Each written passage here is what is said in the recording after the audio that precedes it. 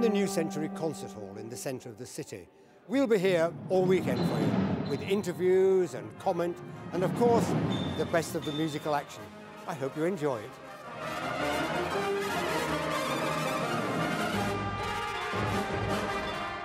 I took the title as being ravelling and unravelling. It isn't at all. It's revelling yeah, and un- unravelling. Yeah. Yeah, uh, it is. it is about Mr. Ravel, comp- and, and he's got it pitched it just right, hasn't he? He's done a remarkable job for someone who's not written a, a, a test piece before. In fact, writing a test piece was not on his agenda.